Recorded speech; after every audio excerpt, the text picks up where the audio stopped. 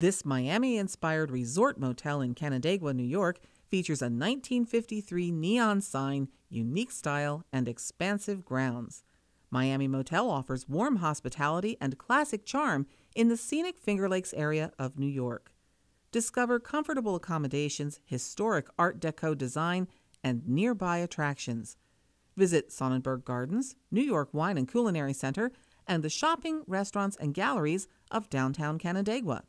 Miami Motel is a perfect choice for a memorable getaway.